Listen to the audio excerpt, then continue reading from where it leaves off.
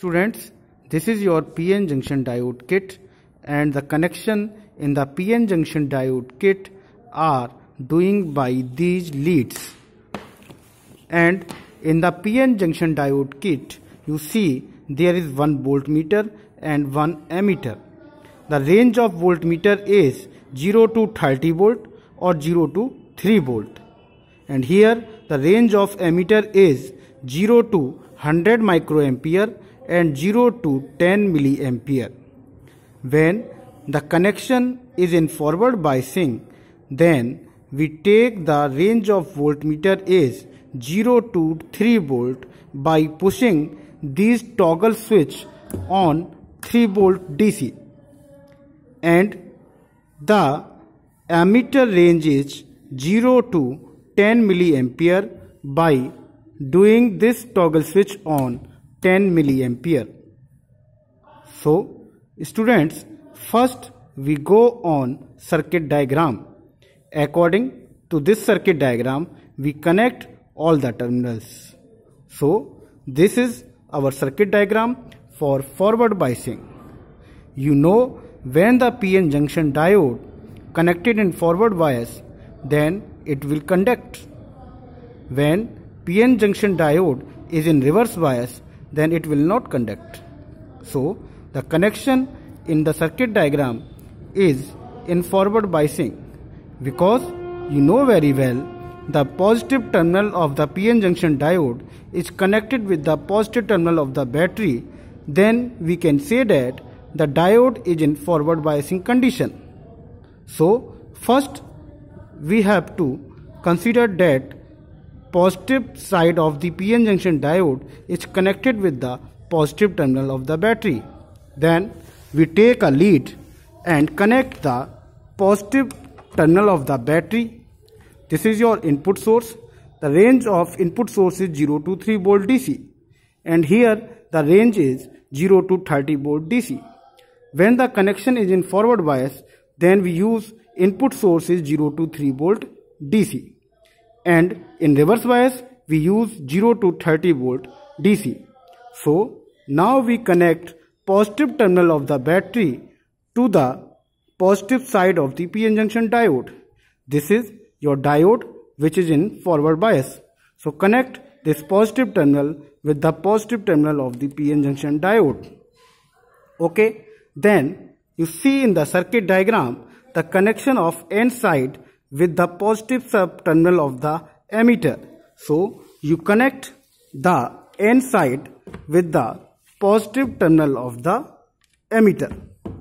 Okay students. So now we uh, connect negative side of your ammeter with the negative terminal of the battery. So you connect negative side of the ammeter with connect with the negative terminal of the battery. And here you can also see that 1 voltmeter is also connected with the parallel of input side because it measures the voltage which is input to the PN junction diode. So connect the voltmeter parallel with the battery. This positive side of the voltmeter connected with the positive terminal of the battery.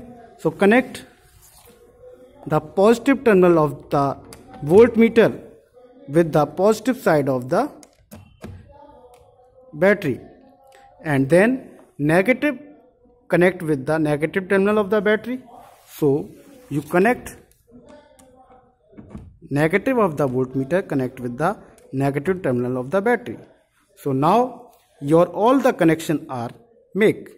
So now we on our apparatus so you switch on this after the switch is on, the LED is glow. It means your, uh, your current is also present in the circuit. Then you first check the toggle switch is on 3 volt DC and the toggle switch another toggle switch is in 10 milliampere then we first move our input source 0 to 3 volt DC then you watch when you increase your input supply 0 to 3 volt then first you increase then no change in the ammeter. It means that when the input supply is cross the knee voltage, then our current flow start increasing rapidly. So when it cross the knee voltage, then current starts in the ammeter side. You see the reading that after 0.3 volt, the current starts in the ammeter. So it means there is which, which diode is used, so semiconductor is used, that is silicon or germanium. You see the threshold voltage for silicon is 0.7 volt and for germanium is 0.3 volt. Now your apparatus is ready for take the readings. So when your input voltage is 5 volt then you get the input current is in 1 ampere. So you take 10 readings according by sliding this input source. So this apparatus is connected in forward bias and now we go on our next session that my apparatus is connected in reverse bias condition. Now students connect all the terminals according to reverse biasing circuit diagram. The reverse biasing circuit diagram is here. The negative side of the PN junction diode is connect with the positive terminal of the battery. Then we can see that our diode is in reverse bias condition. So connect the N side of the PN junction diode with the positive terminal of the battery. So connect N side of the PN junction diode which is present in reverse bias condition with the positive terminal of the battery. Here there are two input side one is range is 0 to 3 volt DC and another range is 0 to 30 volt DC. You have to take 0 to 30 volt DC in the reverse bias condition. So put the negative side of the PN junction diode in positive terminal of the battery. Then uh, P side of the PN junction diode with the positive terminal of the ammeter. Put the positive side of the PN junction diode with the positive side of the ammeter. Connect it. Then the negative terminal of the ammeter connected with the negative terminal of the battery. Connect negative terminal of the ammeter connected with the negative terminal of the battery. After this, a voltmeter parallel with the battery terminal. So connect the positive side of the voltmeter with the positive terminal of the battery. You also connect the positive side of the voltmeter with the positive terminal of the battery and then negative terminal of the voltmeter connected with the negative terminal of the battery. So here negative terminal of the voltmeter connected with the negative terminal of the battery. So now toggle switch condition. The toggle switch is on 30 volt DC so put this on 30 volt DC and the current in reverse biasing is in the range of microampere so put this toggle switch on 100 microampere. So now we start our device by this toggle switch. The LEDs glow up. Now we start to take the readings. First you see that you slide this 0 to 30 volt DC. You take this. Then you see the readings of voltmeter and the reading of ammeter. So now you start to take our readings.